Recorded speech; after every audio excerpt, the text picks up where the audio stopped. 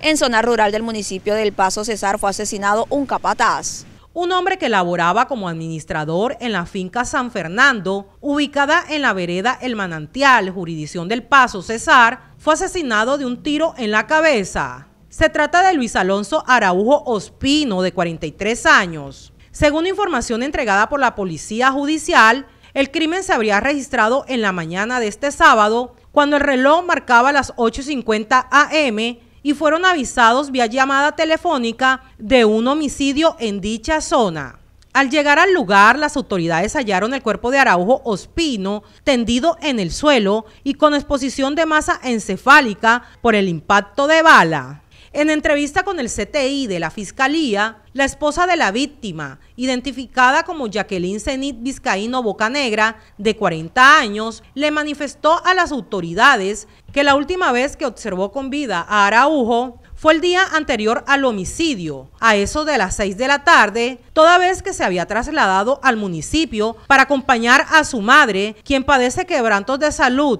y al regresar la mañana de este sábado, encontró el cuerpo de su esposo tendido en el suelo y con sangre en el rostro, por lo que de inmediato le dio aviso a las autoridades. La inspección técnica a cadáver fue realizado por parte del personal del CTI de la Fiscalía.